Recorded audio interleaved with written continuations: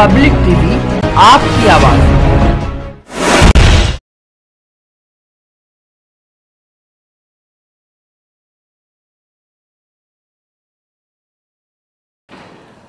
भारत देश को जहाँ डिजिटल इंडिया बनाने की कोशिश की जा रही है, कवायद की जा रही है, वहीं पर साइबर फ्रॉड जैसे कारनामे भी सामने आ रहे हैं। अगर बात करें साइबर फ्रॉड की तो प्रशासन भी उन फ्रॉडों पर रोक लगाने में नाकाम साबित होता है। कुछ ऐसा ही एक मामला सामने आया था हमारे एक साल पहले, जहाँ पर मनीष गोयल जी थे और उनके साथ में एक घटना घटी थी, जिसके बाद उन्होंने एक साल तक लगातार कड़ी मशक्कत के बाद प्रशासन को आईना दिखाते हुए उन्होंने खुद आरोपी को पकड़वाया। इस सब के बीच में किस तरह की परेशानियाँ रही, क्या हुआ इन्हीं सबको जानने के लिए आज हमारे साथ में है, हमारे स्टूडियो में मनीष गोयल जी। सबसे पहले आपका हमारे इस स्टूडियो में स्वागत है। हम सबसे पहले जानना चाहेंगे कि आपके साथ भी ऐसा हुआ था। कैसे हुआ और कब की ये घटना थी? ये मेरे साथ 30 नवंबर 2016 को हुआ था। अ, मेरे खाते से किसी ने ऑनलाइन शॉपिंग की गई थी। जिसकी सूचना भी मैंने तुरंत बैंक को दी थी और उन्होंने मुझे आश्वासन भी दिया था कि ये पैसा अगर फ्रॉड है तो तीन दिन में वापस आ जाएगा। लेकिन ऐसा नहीं हुआ। तब जाकर मैंने फिर एफ़ आई आर लिखवाई। किस तरह किस तरह से इस इस, फ्रॉड को अंजाम दिया गया। ये जो चीटर है साइबर चीटर ये बिहार में बिहार में बैठकर फर्जी वेबसाइटें बनाता था जिससे इसने आईसीआई बैंक की भी वेबसाइट बना रखी थी और जिसके थ्रू मेरी इसके अलावा बात करें आप पुलिस पर आप गए प्रशासन पर आप गए क्या मिला वहाँ से किस तरह का रिस्पॉन्स रहा? पुलिस ने तो खैर शुरू से यही था पुलिस का तो कि ये तो रोज हो रहे हैं, हम लोग कैसे देखेंगे, किस किस को देखेंगे? और मेरा मोटिव यही था कि चलो, मेरा गया लेकिन रोज जा रहा है ये पैसा, और ऐसे हमारा देश कैसे डिजिटल होगा? तो इसके लिए मैं लगातार पुलिस के संपर्क में रहा, लेकिन मसाले का ये होता था कि ये रकम बहुत छोटी है, केवल पच्चीस हज़ार की है तो हम इसको कैसे देखें? पच्चीस हाँ बिल्कुल सही बता और क्या प्रॉब्लम्स आई आपने उस केस को खुद ही स्टडी किया है? ये बात सच है। और किस तरह से आप वहाँ तक पहुँचे? मैं शुरू में तो अपना कोतवाली और क्राइम ब्रांच ही चक्कर काटता रहता था। जो वो कहते थे क्योंकि मुझे जान, जानकारी नहीं थी। कोतवाली भी मैं फ़र्स्ट टाइम ही गया था। और फिर मैं एसएसपी सर के यहाँ गया इस फ़ाइल को लेकर अपनी जो मैंने खुद ही बनाई थी। तब उनको जानकारी दी, तब उन्होंने मुझे मनोज सर ने बहुत अच्छा रिस्पॉन्स दिया था और उन्होंने कहा कि नहीं, तुम इसको देखो और अगर ये केस ओपन होगा तो जो है आपको मतलब यहीं हम बुला के पुलिस लाइन में सम्मान करेंगे। और जिसके लिए मैंने इस चीटर से साइबर चीटर से इनडायरेक्टली चैटिंग की जिससे कि मेरे पास प्रूफ आए कि ये किस तरीके से साइबर फ्रॉड करते हैं और लोगों की मेहनत का पैसा ये निकाल लेते हैं। और हमारा डिजिटल इंडिया जो बनने जा रहा है और इसको ये लोग फील कर रहे हैं। बिल्कुल। किस तरह से ये आखिर इस फ्रॉड को अंजाम देते हैं इस वारदात को अंजाम देते हैं? ये हमारे यहाँ के इंजीनियर हैं ये इंजीनियर होते हैं और जो थोड़ा सा लालच में बहक जाते हैं जैसे इनके ऊपर किसी का हाथ आ जाए या कोई इनको सपोर्ट देने लगे तो ये बहक जाते हैं लालच में और ये फर्जी वेबसाइट बनाते हैं। जैसे इस साइबर चीटर ने अ, मोदी जी की भीम एप्लीकेशन समेत ICI bank Indusnet bank IRCTC मतलब रेलवे की वेबसाइट है और इंडसनेट बैंक काफ़ी बैंकों की और काफ़ी तेरह वेबसाइटें लगभग इसने फ्रॉड बना रखी थी। जिसके थ्रू इसे कुछ नहीं करना होता था। बस हम लोग जो उस वेबसाइटों पर डिटेल डालते थे वो ऑटोमेटिक इनके पास पहुँच जाते थे। जी। तो आखिरकार इतना बड़ा मामला था कि प्रशासन क्यों चुप रहा? अब पता नहीं, मैं तो शुरू से, जब से मुझे ये पता लगा कि ये इतना बड़ा साइबर चीटर है कि इस लाखों लोगों की डिटेल है इंडिया के। तब से, भाई, उससे पहले तो मेरा मकसद यही था कि मेरा पैसा गया है, मुझे मिलना चाहिए। लेकिन उसके बाद मुझे ऐसा लगा कि नहीं यार, चलो, मेरा गया, लेकिन अगर मैं देश के लिए कुछ कर सकता हूँ तो मैं ज़रूर करूँगा। और ऐसे चीटर के लिए मैं हर हद तक जाऊँगा। तन मन धन से मैं हर कोशिश करूँगा इसको पकड़वाने की कि आगे से ऐसे लोग को सबक मिलना चाहिए कि अगर हम गलत करेंगे तो पकड़े जाएँगे। आपने अ, आखिर कहाँ तक इस केस की स्टडी की और कैसे कैसे आप वहाँ तक पहुँचे थोड़ा पहले तो मुझे भी साइबर क्राइम के बारे में ज़्यादा जानकारी नहीं थी लेकिन जैसे जैसे ये कैसे होता है और ये लोग क्यों हमारा पैसा ऐसे निकाल लेते हैं जो हमें पता भी नहीं लगता। ये बहुत शातिर लोग होते हैं, जैसा मैं इसके बारे में बता सकता हूँ। ये लोग क्या करते हैं कि हर अकाउंट से पचास, साठ हज़ार से ज़्यादा विड्रॉल या शॉपिंग नहीं करते। क्योंकि ये लोग खुद कहते हैं कि इतने लोगों के लिए कोई हमारे पास बिहार, बेंगलोर, दिल्ली, मुंबई कहीं नहीं आएगा कोई इतने लोगों के लिए। और ज़्यादा रुपए अगर निकलेंगे तो आदमी कोशिश भी करेगा, खर्च भी करेगा, पर इतने लोगों के लिए कोई नहीं करेगा। तो ये सबसे बड़ा इनके लिए प्लस पॉइंट होता था कि लाखों लोगों में से अगर पचास पचास हज़ार रुपये निकाल रहे हैं तो इनके लिए बहुत है। और ये लोग ज़्यादातर शॉपिंग करते हैं विड्रॉ की जगह, जिससे ये लोग कभी नहीं पकड़े जाए। उसके लिए ये लोग एड्रेस भी हायर करते हैं कि जिनके एड्रेस पे कोरियर आ है, उनको बोल देते हैं कि आपको 30 परसेंट, चालीस परसेंट का प्रॉफिट होगा और आप इस आइटम को आप सेल कर दीजिए और जो पैसा आएगा वो हमारे अकाउंट में लगा दीजिए। इस तरीके से कि जो भी जाँच आएगी वो इन तक कभी नहीं पहुंचेगी। तो आखिरकार प्रशासन इन लोगों को पकड़ने में नाकाम साबित होता है। ये बिल्कुल सच है और साफ़ भी ज़ाहिर हो जाता है। तो ऐसा क्यों होता है, ये आपसे जानेंगे। मैं तो शुरू से यही कोशिश कर रहा था और लोग जाके कहता भी था अवेयर करता था कि, सर मतलब अधिकारियों से कि, सर, अगर आप सौ केस हो रहे हैं, आप सौ भी अगर सॉल्व कर रहे हो तो मुझे नहीं लगता कि हम जो है, इनको कम कर पाएँगे साइबर फ्रॉड्स को। मैं तो ये कहना चाहता हूँ कि 101 बार फ्रॉड होता ही क्यों है? हम इतना बड़ा शिकंजा इन लोगों पे क्यों नहीं कसते कि इनके मन में इतना डर आ जाना चाहिए कि अगर हम फ्रॉड कर तो रहे लेकिन हम तुरंत ही पकड़े जाएँगे। ये इन लोगों को भी पता है हमारे का सिस्टम की, अभी बहुत टाइम लगेगा इसको सिक्योर होने में। लेकिन इसमें मैंने काफ़ी स्टडी की और मैं लखनऊ भी दो बार डीजीपी ऑफ़िस एसटीएफ ऑफ़िस दो बार गया उनको बताकर भी आया कि, सर, अगर हम शायद कुछ गाइडेंस लागू करें तो हम इन पर शिकंजा कर सकते हैं। जिसके लिए मैंने नरेंद्र मोदी जी को, अपने मुख्यमंत्री जी को और जितने भी बड़े अधिकारी हैं, मैंने सबको ईमेल, फैक्स, कोरियर और ट्विटर, फेसबुक सबके ज़रिए मैंने अवगत कराया कि सर इनको रोकिए, इनको प्लीज़ रोकिए और अगर ये आपकी जो स्पेशल टीम होती है, अगर वो इन लोगों को रोकने में नाकाम हो रही है तो आम जनता को भी थोड़ा सा मौका दीजिए। क्योंकि हो सकता है कि कुछ बेहतर विकल्प आम जनता में भी हो, क्योंकि ये चीटर भी तो वहीं से निकल कर आते हैं। इन लोगों में कोई पहले से डिग्री नहीं होती, कुछ नहीं होती, बस नॉलेज लियो और गलत राह पे निकल गए तो कुछ लोग ऐसे भी हैं जो नॉलेज लेने के बाद गलत राह पे ना निकले, इसके बचाव के उपाय बताए।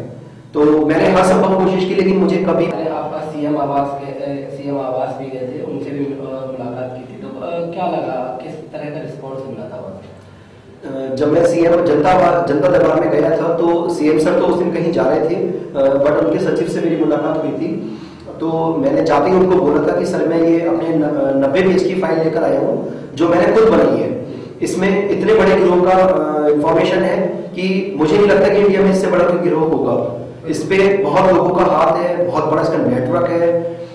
आप प्लीज़ इसको देखिए। और मैंने उनको बोला कि, आप मुझे अपनी स्पेशल टीम से मिलवाइए। जो आपकी साइबर स्पेशल टीम है उससे मुझे मिलवाइए तब उन्होंने कहा कि आप एसटीएफ जाइए, वहाँ हमारी टीम है। तो मैंने उनको बोला भी कि मैं तो उनके पास एक महीने पहले हुआ आया लेकिन आज तक मुझे कोई रिस्पॉन्स नहीं है। तब मैं उनको अपने नब्बे पेज की एक फ़ाइल की कॉपी देकर आया। तो उन्होंने कहा कि नहीं, हम आपके इसमें केस में मदद करेंगे और इस तरीके को रोकने के लिए आपको भी बुलाएँगे और आपसे भी संपर्क करेंगे। और उसके बाद मैं डीजीपी ऑफ़िस भी गया एडीजी क्राइम सर के पास गया और डीआईजी कार्मिक सर के पास भी गया एसटीएफ भी खुद गया था दोबारा कि सब जगह मैंने जागरूक किया कि आप इनको प्लीज़ रोकिए। ये लगातार बढ़ते जा रहे हैं लेकिन अ, मैंने जब काफ़ी इसमें स्टडी की तो मैंने देखा कि शायद हम कुछ चीज़ें द्वारा स्टेटमेंट पर अगर हम कुछ सीसीटीवी लगा दें सभी लोग जानते हैं कि आजकल सीसीटीवी लगने से क्राइम कम होता जा रहा है। क्योंकि चोर को दिख जाता है कि मुझे कोई देख रहा है और वो वहाँ क्राइम नहीं करता तो मैंने कुछ स्टडी करके कुछ इसमें ऐसे विकल्प निकाले कि अगर हम सबकी स्टेटमेंट पर सीसीटीवी लगा दें तो जो चोर चोरी कर रहा है वो दिख जाएगा। हमारा मोटिव यही है कि वो दिख जाए। यानी कि जिसका पैसा निकल रहा है इनफैक्ट उसको पुलिस में जाके ये नहीं कहना पड़े कि अज्ञात ने निकाला है। वो ये रिपोर्ट इसने निकाला है।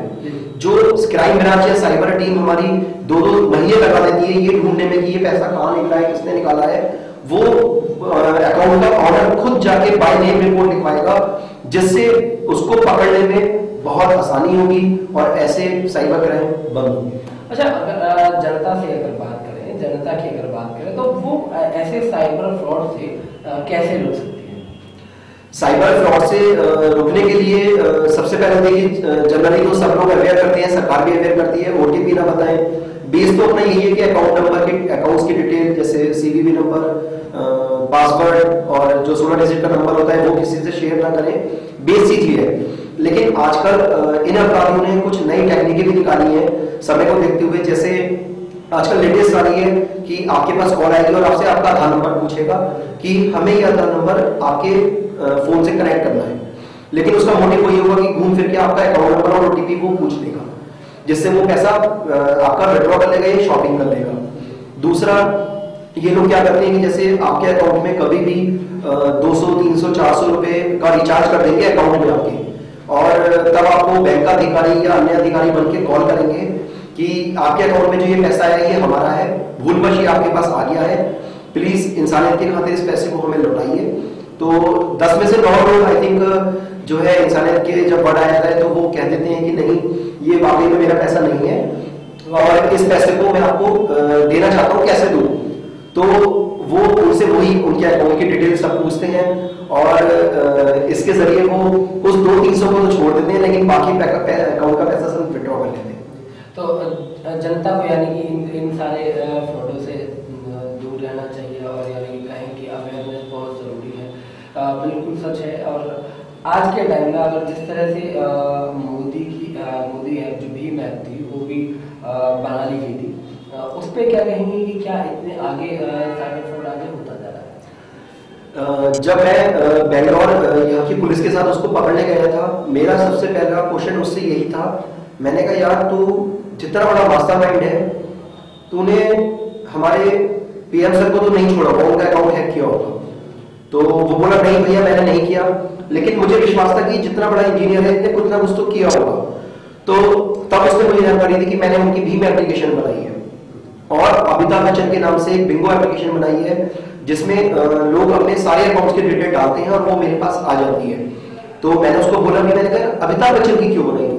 तो किसी मिनिस्टर के देता तो शायद लोग विश्वास करते। बोला, नहीं, अमिताभ बच्चन पे भी लोग उतना ही विश्वास करते हैं जितना और मंत्री अधिकारी पे करते हैं।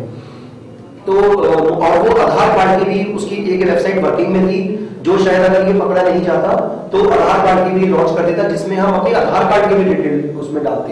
और ये धीरे धीरे इसको रोकने वाला कोई नहीं था, क्योंकि ये खुद कहता था कि मुझे कभी भी कोई नहीं पकड़ सकता। लोग पकड़ते तभी जब उनका ज़्यादा पैसा निकलता। है ये ज़्यादा ही नहीं करते। अच्छा दूसरा, मेरा यही कहना होता है कि अब जैसे भीम ऐप निकली या आईसीआई की ऐप निकली चलो हम इतनी सारी वेबसाइटों को नेट पे नहीं देख सकते कि कौन सी असली है, कौन सी नकली है।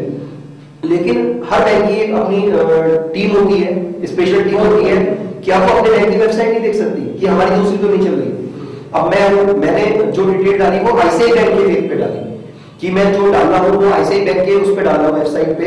और मेरे साथ गलत हो रहा है तो आईसीआई बैंक को ही वो करना चाहिए।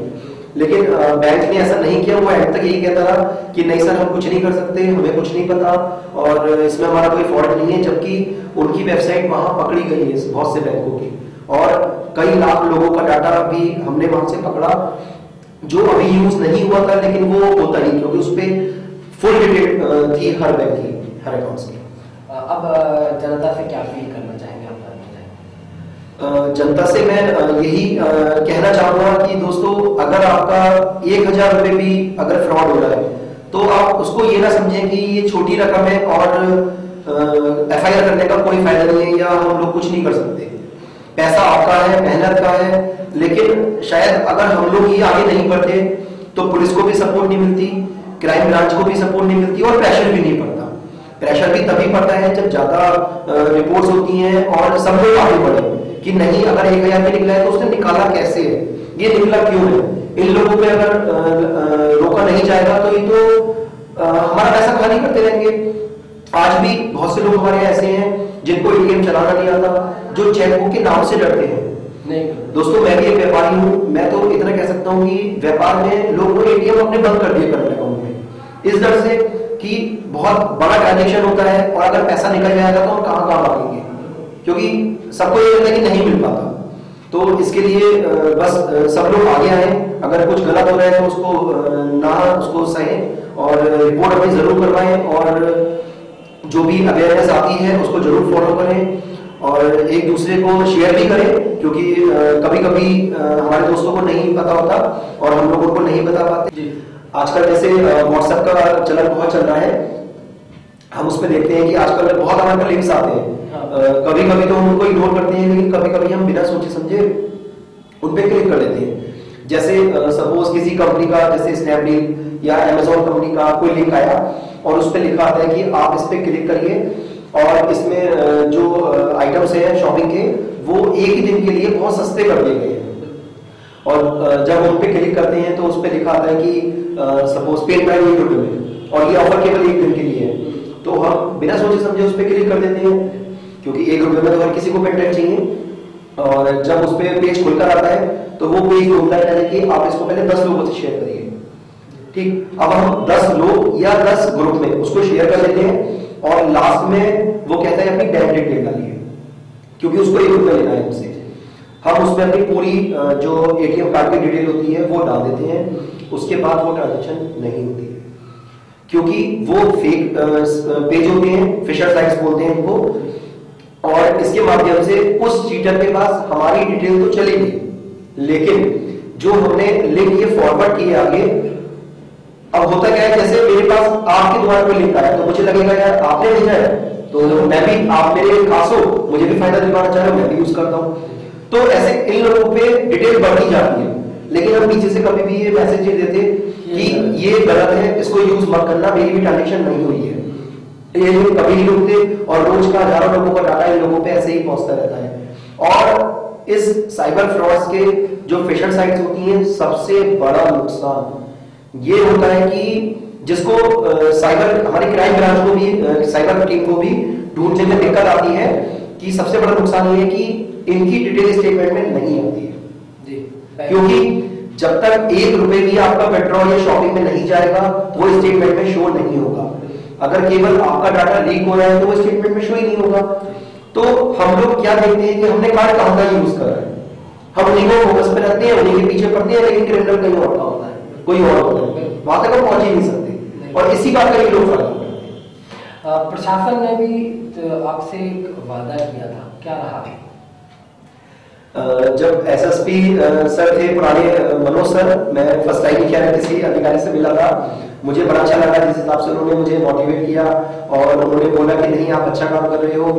तो क्योंकि 10 महीने का टाइम मेरे लिए बहुत लंबा पीरियड था कि मैं उसमें कई बार सोचा कि यार छोड़ो कुछ नहीं फ़र्क पड़ना कई बार ये लगा, नहीं यार देश का इतना बड़ा क्रिमिनल अगर मेरे द्वारा पकड़ा जा सकता है और लाखों लोगों का पैसा अगर सुरक्षित हो सकता है तो मैं पीछे क्यों हटूं तो उन्होंने मुझे काफ़ी मोटिवेट करा कि नहीं, आप इसको करो। और ये केस सॉल्व होने के बाद हम आपको साइबर टीम में भी लेंगे अपनी। और जो है, आपको जो है ऑनर भी करेंगे। लेकिन उनका फिर यहाँ से ट्रांसफ़र हो गया था। फिर वर्तमान में एसएसपी सर को मैंने जब अपनी फ़ाइल दिखाई तो जो मेरी इससे चैट करी हुई फ़ाइल थी, कि तुम्हारे कितने लोगों का डाटा है, तुम कैसे निकालते हो, क्या करते हो, तब उन्होंने ऑर्डर दिया। और मुझे भी साथ में भेजा तो बेंगलोर जाके हमने उसको उठाया। और वहाँ से उसको हम साथ में लेकर आए मुरादाबाद तब हमें उसकी एक फ़ाइल में लाखों लोगों का डाटा मिला। क्योंकि ये 24 घंटे में केवल एक मिनट शॉपिंग करता है। बाकी टाइम फ्री रहता है, इससे ज़रूरत ही नहीं है। पैसा लाखों रुपए रोज का कमा रहा है। जो इसका गैंग है, बड़ा, वो भी सब ऐसे ही करते हैं। जो गरीब इंजीनियर लोग होते हैं, उनको ये लोग हायर कर लेते हैं। मंथली या हर उस पे कि 10 परसेंट, बीस परसेंट के रेशियो पे। और उन लोगों का मिसयूज करते हैं और जो हमारी इकोनॉमी है डिजिटल को उसको बदनाम करते हैं। अच्छा एक चीज़ और मैंने आपसे शेयर करना चाहूँगा कि जब मैं इसको तीन महीने से पिछले फॉलो कर रहा था, तब मुझे इसकी कुछ बातें बड़ी पिंच हुई जैसे ये अक्सर इसको नहीं पता था कि मैं इसको हर तरीके से फॉलो कर रहा हूँ फेसबुक पे या कहीं भी, क्योंकि इसका तो एक रेस्टोरेंट था। ये तो ये सोचता था कि मैं एक रेस्टोरेंट चला रहा हूँ, बाकी किसी को कुछ पता ही नहीं है। तो इसने कई बार ये शेयर करा कि हमारे यहाँ के सारे इंजीनियर दो कौड़ी के हैं और मैं रोज का एक लाख रुपए कमाता हूँ मेरे इंजीनियरिंग के। तो मुझे कई बार पेंशन किया, ये तो हमारे यहाँ के युवाओं को भी भड़का रहा कि तुम लोग दो कौड़ी के हो। इसके कई दोस्तों ने इसको बोला भी कि नहीं यार, अब इंजीनियर दो पढ़े के नहीं रहे, अब तो लाखों रुपए कमाते हैं महीने का। तो इसके जवाब ये होते थे कि बस, मैं तो रोज का कमाता हूँ। तो ये बातें बड़ी पेच होती है कि यार, जो लोग आगे बढ़ना चाह रहे हैं और उनको भी ये लोग गलत रास्ता दिखा रहे हैं, आने वाली पीढ़ी को भी। कि यार तुम लोग जॉब क्यों कर रहे हो? इसमें क्या रखा है? ये गलत काम करो। क्योंकि ये डर ही नहीं है। कहने का मकसद ये डर ही नहीं है। अगर इनके ऊपर डर बन जाए कि कि हम पकड़े जाएँगे गलत करते हुए। कोई सीसीटीवी या कोई ऐसा कोई लग जाए कि स्टेटमेंट में कि हर क्रिमिनल क्राइम करते हुए दिख जाए तो क्राइम नहीं होगा। तो हमारे साथ में मनीष जी, जिन्होंने अपने साइबर, अपने साथ में हुए साइबर फ्रॉड को किस तरह से हल किया प्रशासन के सामने एक बड़ी चुनौती रखी और प्रशासन को आईना दिखाया। देखना होगा कि प्रशासन इस तरह के साइबर फ्रॉड को क्या रोक पाएगा या नहीं, या फिर मनीष जैसे लोगों को आगे आना ज़रूर पड़ेगा। अपने सहयोगी के साथ अंकित चौहान पर टीवी इंडिया